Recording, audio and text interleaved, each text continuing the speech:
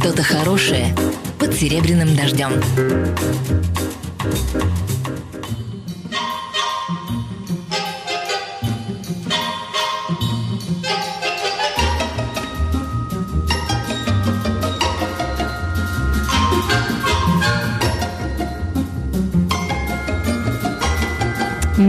Ж, это программа «Что-то хорошее». Вторник, среда и четверг. Алекс Дубас, Мария Армас. Я напомню, телефоны прямого эфира 730-101, код Москвы 495. И плюс 7 903 797 6333. Это номер WhatsApp и также смс-сообщений. Если вам захочется задать свой вопрос э, нашему гостю, а это... Добрый вечер, Алекса. в начале. И это Кирилл Пирогов. Добрый вечер, Кирилл. Добрый вечер. А, добрый вечер. А, вас заинтересовали клавиши, как только вы зашли в нашу студию. У нас много концертов от музыкантов. Ага. Это вот э, то добро, которое остается. Добрый вечер. Добрый. Кирилл Пирогов, а, актер и режиссер мастерской Петра Фоменко. Кирилл, почему вы так преступно мало снимаетесь в кино? Почему мало? Я, по-моему, не мало. Мало. Прям совсем мало. Нет. Спасибо большое. Мне очень приятно, что вы хотели, чтобы я вот больше снимался. Эта девушка, она э, очень э, социальна. Ее зовут Мари. Да. И она прям знает все про всех. Ну, потому что читает, мониторит, у нее там... Ну, давай скажем так, я смотрю кино, да? Я объяснял э, ей, вот к нам придет она очень знакомая, ну, актер знаменитый. А, а, помнишь фильм Данелли «Орел и решка»? Нет. А, кстати, фильм, э, он, к сожалению, попал вот в это перестроечное время, что действительно, то есть у него не было такой судьбы, как а, у других фильмов Георгия Дане, Данелли. А, хорошо, а брата 2 смотрела? Да, вот там друг Сергея Бодрова. Вот он ему паспорта делал а, вот эти все хакерские программы. Я говорю, да неужели это Кирилл Пирогов, да? Да. Ну ладно, а, хорошо, а сейчас, да, вот фильм Лунгина. Ну вот фильм Лунгина, братство, да, братство. последний. Ну, слушайте, ну, извините, я на, мужчина мужчине комплимента с такой харизмой, а, фактурой, ну вы правда мало очень снимаетесь. И я очень люблю театр. И поэтому в кино я хожу, когда есть действительно очень интересно. И люди, и сценарии, и авторы э, фильма. Тогда я иду. А просто так у меня не получается какой-то подвох. У нас недавно выступал здесь ваш коллега и, собственно, актер, который играет в э, вашем спектакле о будущем в «Чайке», Евгений Цыганов. Да. Ну вот, я про кино. Ну, то есть ну, судьбы у артистов разные. Ну, mm. Женя, например, он очень любит театр и действительно очень любит играть и выходить на сцену. При этом он очень любит кино, он начинал даже с кино, он был в киношколе. Поэтому это путь, просто путь. Э, я не думаю, что дело в количестве, знаете. Вот да, да. Но вы делите вот это вот театральные актеры и актер кино, что есть вот различия Нет. между этим? Нет. Нет, это разная специфика немножко, но нет, а профессия одна. Может быть, техника чуть-чуть разная, а по сути нет. Ну, может быть, да, это тоже позиция не действительно выборочно очень. Дэниел Дель Льюис, да, вот чудесный совершенно. Банда Нью-Йорка каждый раз в 4 года снимается, ну и очень так вот. Хороший артист. А великолепный, конечно, каждый раз Оскара, а так делает ботинки. Да, он чудак, это правда. Так. Слушатели, присоединяйтесь, пожалуйста, к нам. А, еще раз всем добрый вечер. Спасибо, что всем остальным радиостанциям а, планеты вы предпочли сегодня «Серебряный дождь». Это здорово. А, номера, цифры вам сказала Мария, 730-101. Префикс Москвы все тот же, 495. Точно. И порадуйте нас своими сообщениями, и Кирилла в том числе, плюс 7 903 797 6333. Вы в театре Фоменко с 95 -го года. Да, первое поколение. Да, это как только начался театр, как только он организовался официально. Э, я был молодой совсем человек. И это мое первое и единственное место работы. Официально. Круто. Да. Э, собственно, э, если бы это было не так, может, я в кино больше бы снимался.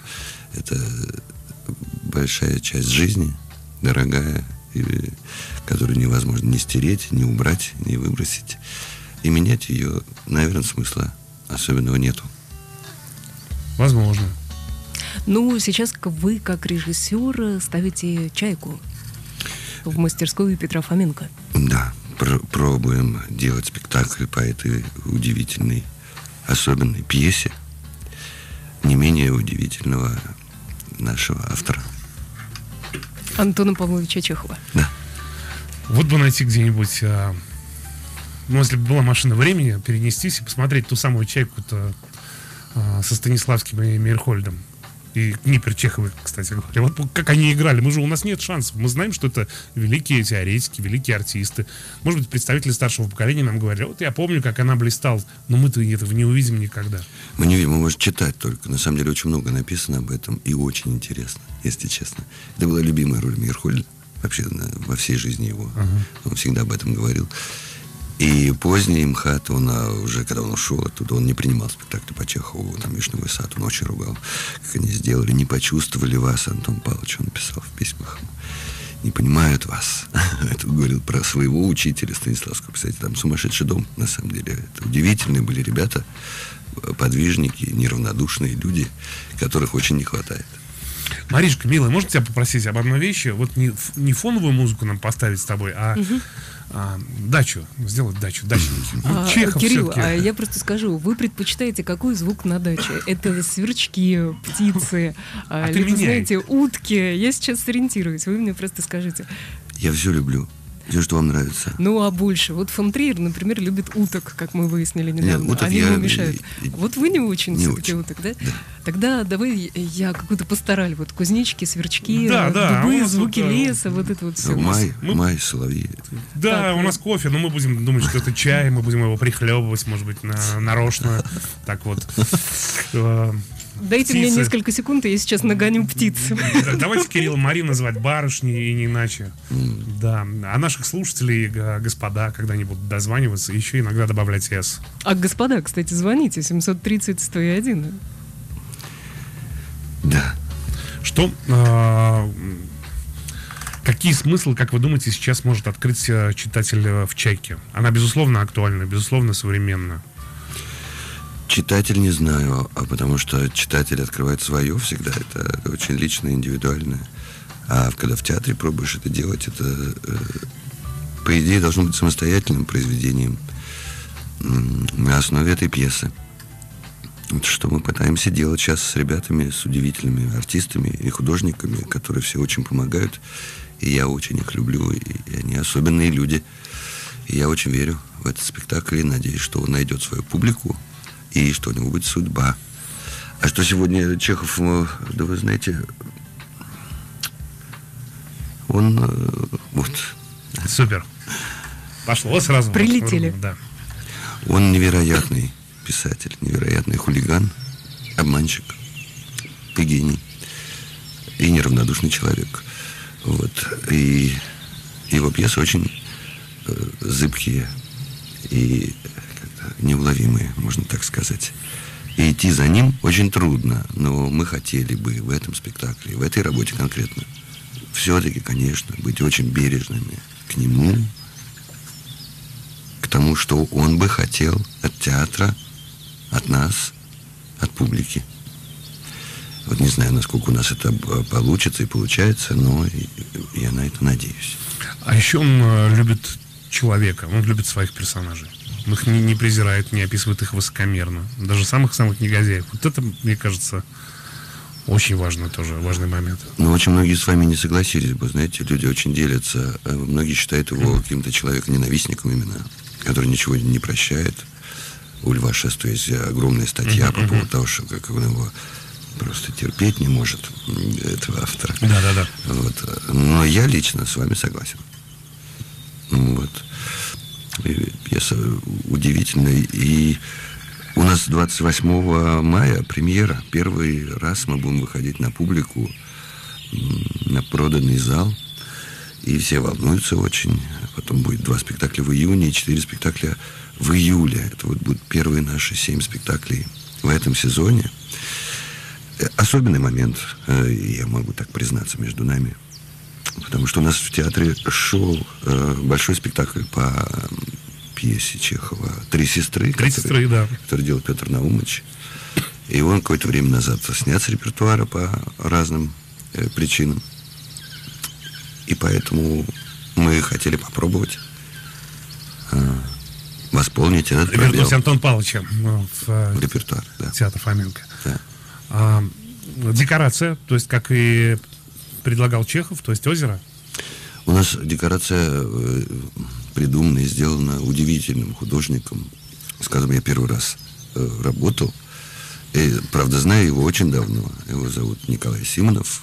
Он много-много сделал спектаклей прекрасных с э, хорошими режиссерами. И вот у нас была первая такая встреча с ним в работе. А, Мне очень повезло с ним. У нас она не бытовая, Мгм. но и не самодостаточная. То есть она для артистов сделана. Озера у нас нету, оно должно просто угадываться. Это, кстати, Чехов очень смешно говорил, знаете, с артистами МХАТа, которые говорили ему, мы вот тут репетируем, у нас будут лягушки клакать, там, и все будет такое живое, А Львы, орлы и куропатки. например. да. Приблизительно. И он говорит, зачем?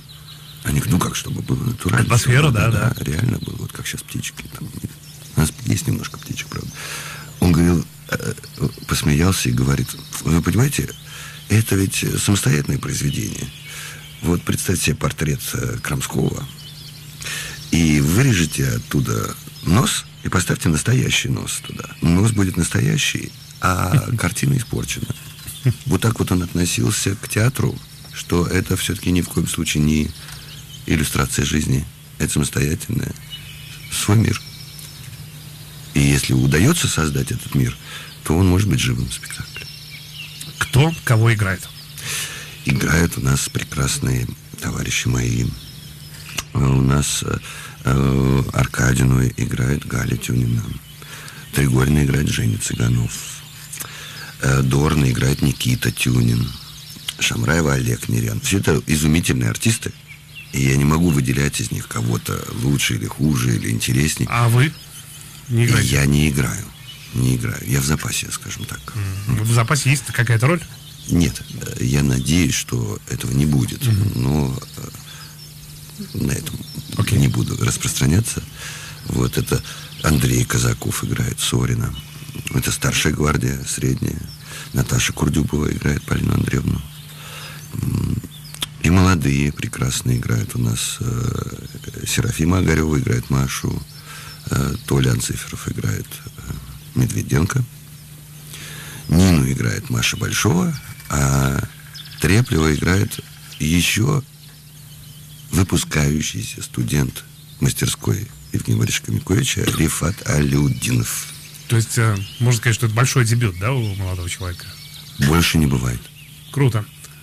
То есть у вас, э, у Фоменок, э, есть три поколения, да? Основа... Ну, не отцы-основатели, а первая, старая ну, гвардия, вы сказали. шуточно называют основоположники первую, Да. первую компанию. Сколько вас? Нас было 10. Десять. Сейчас нас 9. Юра ушел э, в 2010 году. Ну да, 9. Получается так.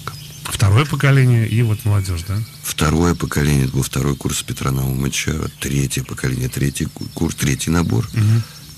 И потом стажерская группа. Первая, вторая, третья, сейчас четвертая. Я подумала, как хорошо, что к нам пришел Кирилл, и как хорошо, что птицы прилетели, хотя меня просят форточку немножко закрыть. 730-101, к нам слушатель хочет присоединиться. Добрый вечер. Алло. Добрый вечер. Алло. Барышни, проходите, пожалуйста, вот присаживайтесь на лавку. Брысь! Это я коту. А, Это я курица. вот, вот здесь, да, по- по- под яблоней. Сирень какая, да, вот после дождя как она э, Майская. пахнет чудесно. Как вас зовут, милая? А вы к кому обращаетесь? Да к вам, конечно. да. А, меня зовут Евгения. Я про- просто я себя не слышу, поэтому э, удивилась. А это я птицы хотела сказать. Алекс, спасибо вам большое, что вы пригласили. Кирилл Пирогова, прекрасный актер. Вот. И вы забыли сказать, что он играл в Макмафии. Это, ну, как для популяризации, наверное, это самый распространенный сериал. Вот. А, и очень Точно, я, к сожалению, не смотрел. Ну да, это британский сериал, где вы играете, конечно же. Это Да, очень- конечно, это же вообще очень здорово. А Вот. Кирилл, спасибо вам большое, вы прекрасный актер. Спасибо. И действительно хочется, чтобы больше и больше было ролей с вашим э, вас в кино, на Спас- самом деле. спасибо большое. Потому что мы любим театр, но кино мы любим больше. Евгений, чайку с чабрецом, может быть? Да, прекрасно. И вот, и. Мария, давай чаще чебрецом и крыжовниковое варенье пусть она попробует. Это бабушка. От, от сердца, спасибо от большое. сердца открываю. Посидите пока с нами, если что, вот присоединяйтесь к разговору. Ладно, Записку спасибо. прислали. А, ам, Добрый вечер. Вот-вот. Мне тоже не хватает Кирилл Пирогов в кино. В театре, по-моему, все роли удались. Ну, из тех, что я видела. И очень понравились испанцы в Дании. В общем, мой любимый артист. И продолжайте в том же духе, как режиссер. Очень приятно. Спасибо огромное. Кирилл, а у меня несколько сообщений, где вас сравнивают с одним актером. А знаете ли вы с каким? А, по принципу внешности, я вам скажу честно. Ну, я знаю, с каким, да. Ты тоже догадался, да? Ну. А, Мне это сейчас только впервые пришло в голову, когда слушатель написал. Нет, не знаю, были какие-то в жизни сравнения, не знаю, кого имеет в виду. Макэвой, да? Маковой, конечно, Ну, да. некоторые так говорят, я слышал, да. Ну, не знаю, э, почему. Может быть, внешне что-то... Типаж, да. ну, скорее Вот, всего, да, это ре- речь о типаже, вот как раз э, его Ну, вспоминают. и, наши и- и не только внешне, я бы добавил еще пластика. Я же не видел вас вот в те- в театре. Ну да, вот, вот это вот. Вот эти две. Макмафия, конечно же, конечно же. А, Знаменитый сериал я, я не посмотрел, к сожалению, пока не дошли руки. Как вы оказались в Великобритании? Как В вы- английском сериале. в английском сериале? Э, Просто летом позвонили мне, сказали, вот э, ищут русских артистов. Э, я говорю, «Ну, надо почитать. И почитать? Я говорю, да, почитать, у нас так принято. Так. Прислали почитать. Э, А у них не читают, что ли? Читают, но там очень, за- очень сильно защищают это. То есть так просто нельзя сценарий взять и почитать. Ну, э, вот. И очень хороший режиссер там был, Джеймс. Э, я его никогда не видел, мы с ним только по скайпу пе- переговорили. Вот. А потом у меня начался сезон в театре, и я позвонил, сказал, скорее всего, у меня не получится, потому что у меня спектакли. По 10-12 спектаклей в месяц я играю, поэтому просто взять и уехать э, я не могу. Он говорит, подожди, подожди, давай подумаем. В общем, они переделали расписание, и таким образом я попал к ним в кино. Здорово. У этого были какие-то последствия? Я имею в виду предложение новых ролей там же. Э, б- Было, у меня вот я недавно тоже ездил, э, такой тоже английский фильм, шпионский детектив. Там есть одна сложность, знаете, они в силу того, что сейчас происходит, они русских героев, они, конечно, пытаются сейчас изменить стереотипы. Раньше это были просто э, ну, совсем не, неудобоваримые, неудобопонятные люди. Богачи или бандиты. Ну в общем, мерзкие какие-то северные люди. Ну да. А сейчас они пытаются делать это сложнее, но все равно остается ощущение, что э, мы представляем большую опасность для них, действительно. И Я, в общем, человек субтильный, и когда я чувствую, что они настораживаются при мне, меня это очень забавляет. И я перестал бороться с этим. Я подумал, если хотят бояться, пусть боятся. Я, не- я, я понял, что не надо разубеждать людей. Не надо. Просто чаще э, на съемочной площадке употреблял слово «новичок», которое они тоже теперь Но знают. знаете, на самом деле это все ужасно. Да, и да, это очень сильно влияет на отношения. И по- то, что вот у нас приличная пропаганда, у них больше, чем у нас. И я не мог поверить в это. Это правда. Это правда. Это правда, да. Вот, Мы поэтому очень, да. был, был, был вот э, тоже. Это ваш был первый опыт работы, э, скажем, с не э, российским, не советским кино. Да. И как? Вот в чем отличие? Очень организован. Очень организован, они не могут потерять ни одной минуты времени рабочего. Невозможно это. Но И это тогда- очень утомляет. Тогда, наверное, Утомляет? Кирилл, тогда, наверное, работа заканчивается минуту в минуту, а не как в российской Почему? версии, То есть- где можно а, еще, да. То есть не расслабиться? Не выпить кофе или что? Ну, почти. Почти. Только тогда, когда общий есть перерыв, пожалуйста. А так, там, э, я бегал, конечно, курить иногда, но они очень, очень нервничали, когда я бегал курить. Ну- И даже если ты идешь, извините за выражение, в уборную, они отслеживают, где ты находишься, чтобы ты не потерялся. Ну, вдруг вы английский не знаете э, в совершенстве. Это благие побуждения. Не очень педантично, но у них есть чему учиться с с точки зрения организованности того, что происходит. Это безукоризненно, действительно. А вам больше подходит такой расслабленный темп работы, то есть когда можно там, эм, ну, выйти, если нет э, рывка для собранности ты тогда выйти, попить кофе, там, пять минут себе, и тогда ты рывок сделаешь. А тебе говорят, да нет рывка, нет же, тайминг, тайминг. То есть вам как э, организовываться? Мне, мне все равно, на самом деле. Просто интересно, как люди по-разному работают. Хотите пе- первое, первое впечатление о спектакле о вашем? Хочу. У «Чайки». Да, да, да. Здравствуйте. Вчера чудом попала на предпоказ спектакля «Чайка». А в аннотации заявлена тема отцов и детей, а я вот на первом плане увидела безусловную, сумасшедшую, сродни смыслу жизни любовь трепливая к заречнику. Здорово. И как вам так, такая Прекрасно. интерпретация? Я хотел бы, чтобы люди, которые будут смотреть этот спектакль, э, видели в нем лично свое. Мне все равно, мне не хотелось бы. Сейчас очень модно про высказывание говорить, знаете? Нет. Вот э, спектакль или кино, это должно быть какого-то рода высказывание. И я, я вообще не понимаю, что это значит. Потому что м, мне трудно представить, что вот про Пушкина можно сказать, что Пушкин э, вот этими стихами это был, было высказывание по поводу чего-то. Мне кажется, что не в высказывании дело, а во внимании, в восприимчивости, в степени... э, э, Может быть, это имеется в виду на злобу дня? Я, я не знаю, что это значит, но это значит, что это какой-то концепт. То есть и, и я так воспитан, наверное.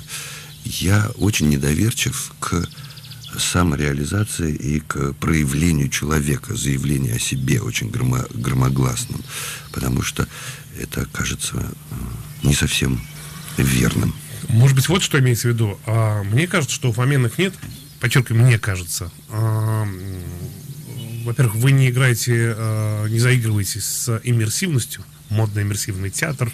Ну, Пока нет. Второе, это вы действительно не на злобу дня. Я, условно говоря, как театр практика, театр док, ну, они для этого, ну, в том числе для...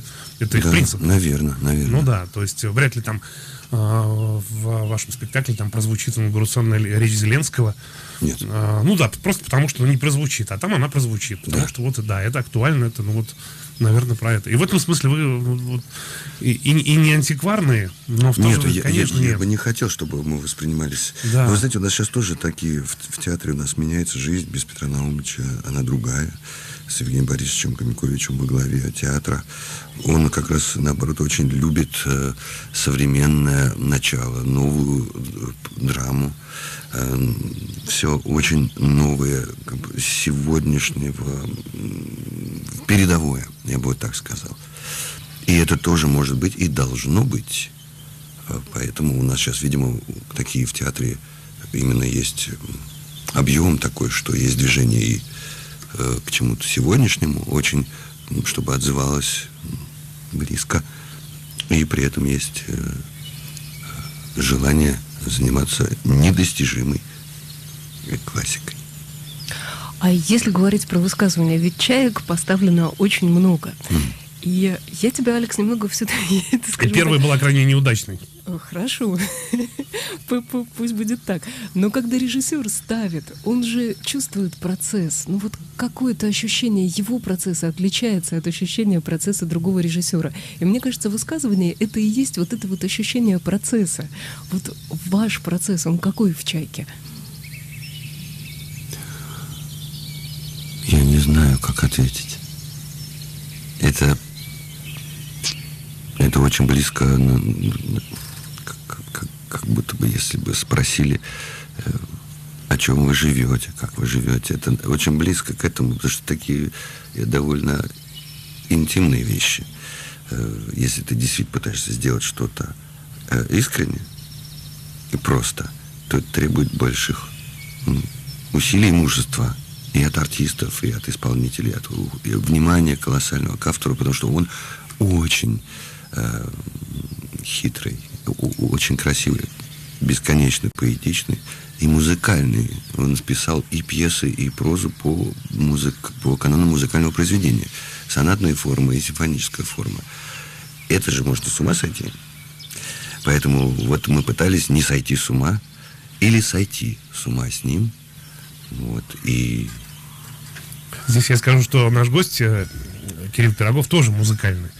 А, в частности, музыку в фильме э, Питер ФМ Петров, а, написал Кирилл Пирогов. И мы, зная об этом, а, принесли клавиши в студию. И вот сейчас, пока будет 2-3 минуты перерыв, а, мы попробуем их освоить, ну, чтобы это звучало Если- в эфире. Если есть ружье, то оно должно быть, э, Да, ну, как бы сказать, выстрелить. э, да, если есть рояль в кустах, то он должен Слушайте, а вы вот уверены, применен. кстати говоря, что этот закон Чехова, он а, сейчас актуален про ружье и кусты? А вот давайте, Да? пожалуйста, о ружьях, кустах э, и рояле в кустах э, Хорошо. через несколько минут. Что-то хорошее под серебряным дождем. Я зачту Хорошо. сообщение из WhatsApp. Ой, мамочки, пишет Анастасия, что же вы молчали, что у вас в гостях моя первая любовь, буровая Прищепкина. Передайте, пожалуйста, Кириллу мои комплименты. И, кстати, мою любовь тоже передайте. Спасибо. Мы почти как на буровой, только в лесу. Только в лесу, ну пусть это будет Подмосковье или где-то там на, на исток Волги. А, у нас в гостях а, Кирилл Пирогов. Большой привет вам, Кирилл, от Катерины из Санкт-Петербурга. А, Я повторюсь, как и многие, но спасибо вам огромное за самоотдачу в творчестве. Спасибо за то, что вы стали частью фильма «Шедевра братства». Искренне Павла поздравляю с грядущей... Да, прям- к сожалению, в наше время уже принято добавлять скандальные его фильмы, да, потому Да, есть такое немножко звучание у него, с которым я совсем не согласен. Но раз так вышло, не знаю. И вас искренне поздравляю с премьерой «Чайки». Э, Чем обусловлен э, выбор именно этого произведения? Чехова, и много вопросов у девушки, и музыку каких композиторов вы можете переслушивать всю жизнь. Ну вот, хороший вопрос про почему именно именно Чайка, если говорить о Чехове. Мы хотели вернуть Чехова в стены театра э, Фоменко. А почему именно Чайка? Наверное, потому что, ну, может быть, это самая сложная пьеса его. И подумали, что если уж браться, то браться, не боясь, за самое сложное и рисковать. Потому что таких возможностей в жизни бывает мало. Не часто можно пробовать делать такие пьесы сегодня в театре, в наше коммерческое, в общем-то, время во многом. И я очень благодарен нашему театру, моему театру и э, Андрею Воробьеву, директору, и Евгению Борисовичу Миковичу, которые разрешили и поддержали эту пробу э, работы над этим ма- материалом. Я напомню, 28 мая премьера, но все продано, насколько я понимаю. Да, э, да, первый спектакль продан. А 25-26 июня вот следующий у нас выход на публику. И четыре спектакля в июле. Приходите, если кому интересно, э, из слушателей. Мы будем очень рады. А у меня... Вернемся, Мария, а иначе потеряем мысль. Хорошо, но у меня тоже есть один вопрос А, потом. К, к ружью-то, к ружью мы обещали А, поговорить да. после э, э, перерыва. Так вот, есть э, такой писатель Юваль Ноа Харари, это профессор э, Стэнфорда, э, и он э, написал э, книгу, возможно, вы ее читали, она в списке бестселлеров последние лет 8, это э, «Сапиенс. Краткая история человечества», и сейчас он выпустил вторую книгу «Homo Deus». То есть первая книга описывала нас до, а сейчас вот он предполагает и строит э, довольно остроумно какие-то гипотезы, что нас ожидает. Так вот, он говорит, что м, он очень любит Чехова. Но он говорит э, э, о том, что вот этот закон, он теперь не работает. Э, э, Ружье не выстрелит в последнем акте, потому что мы, э, люди, стали другими. Мы уже стали уже прак- практически на пороге вот э, богов. Ну, я не знаю, что это будет, я- ядерная зима или мы полукиборги. Ну, факт то, что мы уже не будем э, люди как люди. Вот об этом Ну, По поводу этого закона, который, если висит ружье, то оно должно обязательно в какой-то момент выстрелить. Я все-таки я не читал книгу удивительного Харари. писателя Харари, да. Но я не соглашусь, потому что есть все-таки законы и каноны э, и литературы, и музыки, и эти попытки найти золотое сечение и через математику и музыку. А их никто не отменял для тех людей, которые занимаются этим и в литературе, и в театре, и в, в живописи, и в кинематографе. И поэтому, мне кажется, без этого просто нечего делать в сочинительских пробах у людей. А то, что мы мельчаем, это точно. Мельчаем? Это- ну, мне кажется, человек стирается. В общем, и чайка во многом э, связана с с этим, хотя это было 120 лет назад, но все-таки там есть абсолютная это пьеса парадоксов. Это абсолютный парадокс, что живет молодой человек в деревне, выгнанный из третьего курса университета по обстоятельствам от редакции, как говорится, независящим, так у него написано. Мгм, мгм. В черновиках написано, что она, мать называет его Аркадина пролетарий. Э, Время реакции колоссальное было в России, как вы понимаете. И он живет в деревне у дядьки, в имении. Носит один и тот же сюртучок. А при этом он цитирует Гамлета вместе с матерью. И э, очень сильное влияние в этой пьесе Шекспира. Именно эта пьеса. Если представить себе, что в наше время, в нашей деревне появляется настоящий Гамлет, то это парадокс. Этого быть не может, потому что он ничего не сможет изменить и сделать.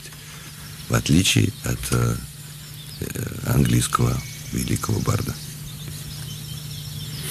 Интересно. Тут э, такая минута на осмысление.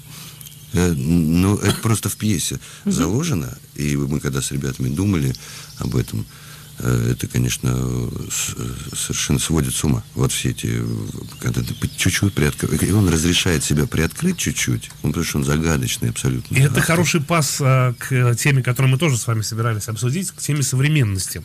Итак, если в современной деревне а, мы не встретим Гамлета, Да. а, то, значит, эта современность, она... Нет, мы его можем встретить, но он Можем. будет бессилен. Понимаете, в чем разница? Потому что в то время э, э, они могли вершить судьбы э, государства, по крайней мере. Мгм. Но в деревне ты не можешь это сделать. Ты очень локально. И более того, ты ни на что не можешь влиять в этой жизни. Мы можем быть какими угодно умными, тонкими людьми. Но мы мало на что можем влиять. Пожалуй, Я-то и искусства. хотела вас спросить действительно, а на что может влиять вот современный человек в России? В России Да. друг на друга можно влиять, развиваться можно. Можно пытаться знать, что, как у, у того же Антона Павловича написано, без образования э, и трудолюбия ничего не будет. Можно совершенствоваться. Попытка, этого никто не отменял. А использовать современные технологии прекрасно. Но, к сожалению, они никогда не заменят то, что ты человек больше этого. Потенциально. Мне кажется. Ну, такой социальный фатализм. наверное, да. У Может. вас есть профиль в Фейсбуке, в Инстаграме? У меня есть, я очень мало ими пользуюсь. Я просто искал когда-то друзей, которые в, в Америку уехали, и поэтому оказался там, еще когда не было в России Фейсбука. Окей. Я, знаете, я хотел вот обязательно поблагодарить, э, вот в эфире еще пользуюсь такой возможностью, художника по костюму нашего спектакля, удивительную э, Машу, Марию Борисовну Данилову, которая феноменальный художник. Современный, несовременный. Я не знаю, что это. Мы с ней очень часто об этом говорим и спорим по поводу современности. Ну, у вас а, в спектакле а, он а, действие происходит в то время, во время Не совсем. Не совсем. Мы немножко сдвинули. У нас была такая идея, э, что если пытаться восстанавливать историзм, то мы неизбежно свалимся в сравнительную категорию с э, чем-то подобным. Делать что-то из сейчас, мы тоже свалимся в категорию сравнительного анализа, кто как что лучше делать, знаете, тут как э, на рынке. Ну, какие у вас годы? Мы чуть-чуть сдвинули дальше, в 20 век, немножко, в начале. Это когда, э, как раз с Машей Даниловой мы об этом говорили, когда еще можно дотянуться рукой. Это про прошедшее, но не такое далекое, не неизвестное совсем. И она изумительно э, одела артистов, на мой взгляд. То есть теоретически наши, ну, ваш дедушка, бабушка и мои а, могли быть знакомы с Антоном Павловичем Чеховым, ну, будучи детьми. Ну, Ну, гипотетически, да. да, да. То есть Про, ну, прадеды точно. через а, там одно рукопожатие, но в ту сторону. Да, да. То есть а, не закошлаченные лапсердаки на, на у всех на сцене. Нет. А Что-то такое из 20 века. У меня был вопрос, э, не связанный как раз с Чайкой и Антоном Павловичем, а, наверное, ближе как раз к Павлу Лунгину, действие фильма которого в Афганистане происходит. А вы же родились в Тегеране, то Ну, есть э, да. восточная часть. Это красиво. Ну, красивая биография начинается. Да. Место Это- рождения. Тегеран. Окей. Это, конечно, довольно долго э, не было, э, не афишировалось в семье, потому что это не очень было в советские времена не сильно это могло помочь.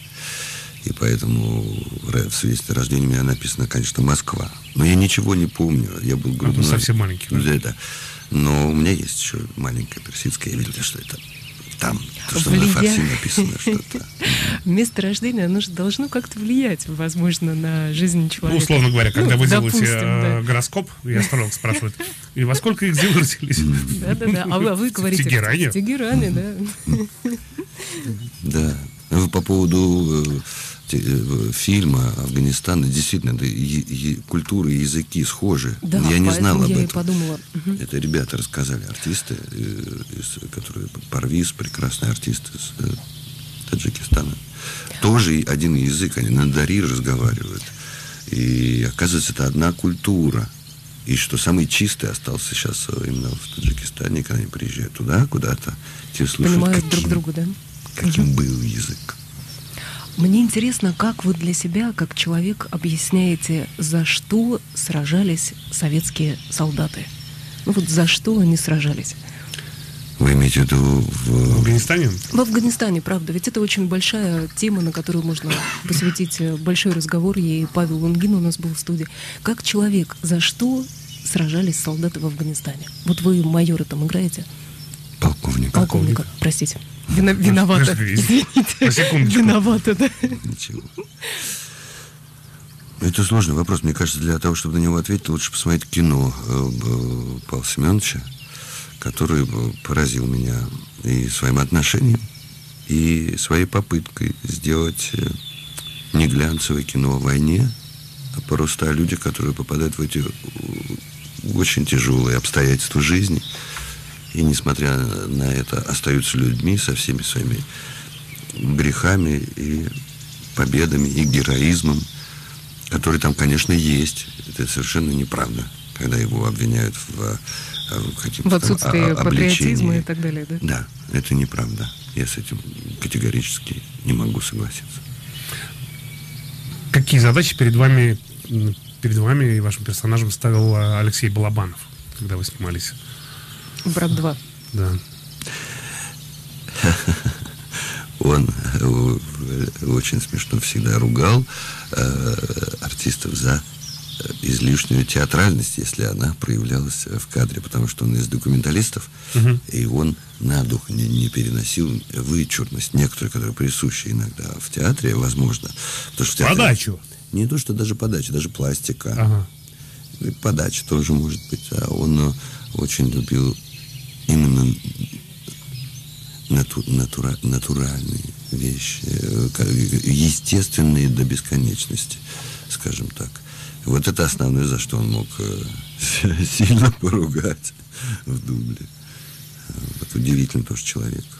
И удивительные встречи у меня в жизни. Вы играли э, друга Данила Багрова, а с Сергеем Бодровым ну, какие у вас были отношения? Давайте через несколько минут.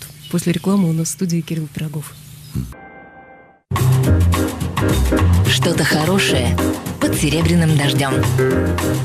В мастерской Фоменко скоро премьера «Чайки» 28 мая. Поставил ее э, Кирилл Пирогов, режиссер спектакля. А, Сегодня у нас в гостях. И мы э, вспомнили э, его роль в фильме «Брат 2». И вот вы играете приятеля Данила Багрова. Я вас спросил про отношения с Сергеем Да. Бодровым. Расскажите, пожалуйста. У нас были очень хорошие отношения. э, Как в кино? Там прям вы друзья. Ну, почти как в кино. Так получилось почему-то. Хотя очень коротко же э, был съемочный период был. Не так много, но как-то мы очень хорошо жили вместе тогда. Светло очень. И Сереж, когда снимал свой дебютный, единственный фильм, сестру он меня позвал играть там плохого парня. Леша его отговаривал очень, потому что какой из меня плохой парень. Но он все равно рискнул и ну, Я еще с ним побыл это время, когда он э, сражался с э, работу над первым своим кино. Я его очень люблю и очень люблю его семью и чудесную жену его. Свету. И дочь у него прекрасно учится сейчас в ГИТИСе. М, Да. Вот поэтому э, у нас хорошие настоящие отношения были. Мне очень жаль, что они ушли так рано.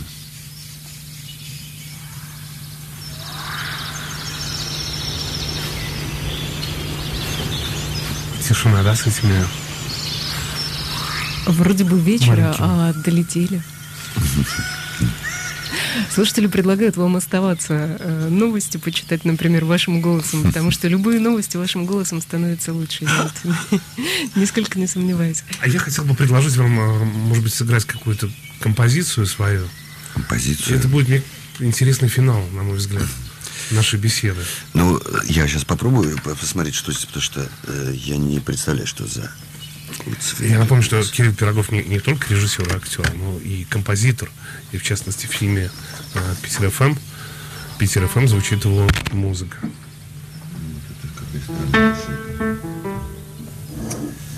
Это совершенно по-живому импровизация. Мы ничего не репетировали. Да, в общем-то, Возможно, и- он и даже не расстроен. готовили, да. А, Я сейчас не о, о Кирилле. а Кирилл, есть две минуты. Если говорить, то в этот микрофон. Этот? А вы знаете, вы чуть- э, что-нибудь лучше говорите, а я потихоньку... А мы будем поиграю. потихонечку прощаться.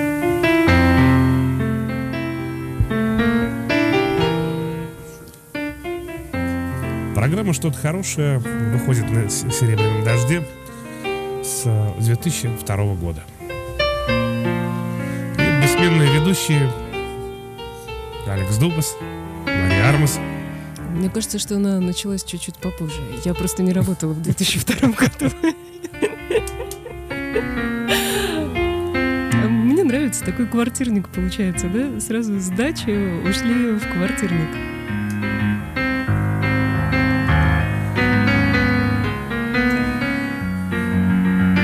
У этой программы нет особой концепции. Это не интервью, это не концерт, это, не- это и то, и другое, и разговор о чем-то. И больше всего мне нравится классическое что-то хорошее, вот такое, как было сегодня.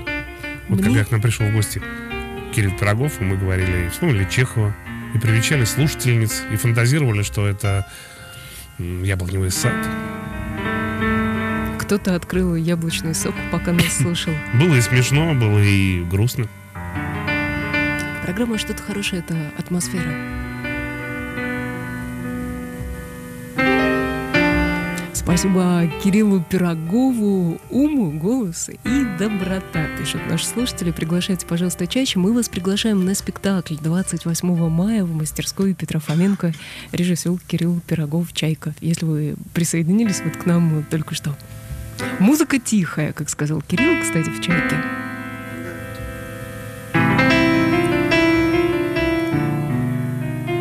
Осталось 20 секунд, и завершим мы Шекспиром. Да приумножится ваше племя.